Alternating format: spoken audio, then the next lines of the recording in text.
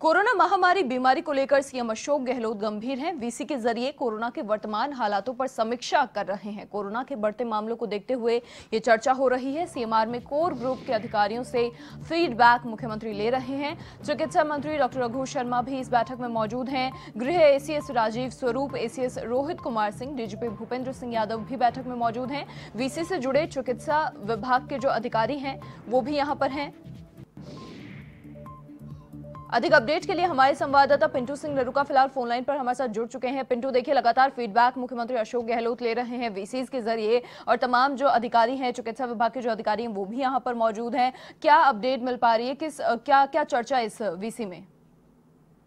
मुख्यमंत्री अशोक गहलोत कोरोना जो संक्रमण के मामले बढ़ रहे हैं उसको लेकर काफ़ी गंभीर है। जो पिछले कुछ दिनों से हम देख रहे हैं कि जिस प्रकार से कोरोना के मामले बढ़े हैं हालाँकि रिकवरी दर बेहतर है पूरे देश में अगर पूरे राज्यों की बात की जाए तो लेकिन फिर भी जिस प्रकार से मामले आ रहे हैं उनको लेकर सीएम अशोक गहलोत काफ़ी गंभीर है और आज ही गृह विभाग ने आदेश जारी किए हैं कि प्रदेश जो अंतर्राज्य सीमाएँ हैं वो सात दिन के लिए सील रहेंगी। जो। पास जारी किए जाएँगे उसके आधार पर ही लोग प्रदेश से आ जा सकेंगे। बाकी आने जाने पर लोगों की रोक रहेगी। उसके बाद में जैसे ही गृह विभाग का आदेश जारी हुआ और उसके थोड़ी देर बाद ही शॉर्ट नोटिस पर सीएम अशोक गहलोत ने एक बैठक बुलाई और जो। कोर ग्रुप के जो अधिकारी हैं उनके साथ फीडबैक ले रहे हैं कोरोना के हालातों को लेकर क्योंकि कल हमने देखा जिस प्रकार से आंकड़े बढ़े तीन सौ साढ़े तीन सौ से ऊपर जो संक्रमण के मामले आए उसको बाद उसके बाद से ही सीएम अशोक गहलोत काफ़ी गंभीर है।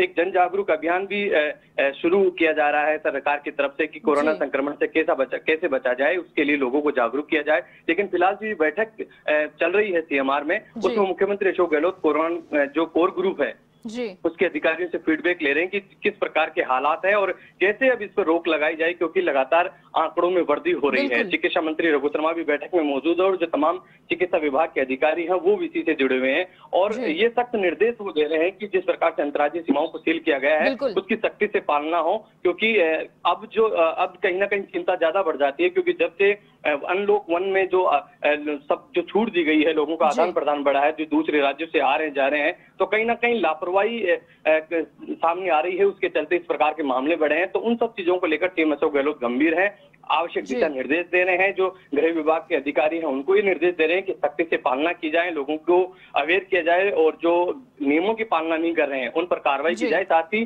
जो अंतर्राज्य सीमाएँ हैं वहाँ पर सख्ती से चेकिंग हो जो भी आ रहे हैं जा रहे हैं उनकी अच्छे से चेकिंग हो और चेक पोस्ट को तैनात किया जाए। साथ ही जो कोरोना के मामले बढ़ रहे हैं उन सबको लेकर चिकित्सा विभाग के अधिकारियों से चर्चा कर रहे हैं। जी मनीषा। बिल्कुल पिंटू तमाम जानकारी के लिए आपका शुक्रिया। आपको बता दें कि इस वीसी से तमाम जो अधिकारी हैं वो जुड़े हुए हैं। लगातार फीडबैक मुख्यमंत्री अशोक गहलोत खुद ले रहे हैं किस प्रकार की व्यवस्थाएँ हैं क्या वर्तमान हालात हैं और क्या आगे जो कदम है वो लेने होंगे।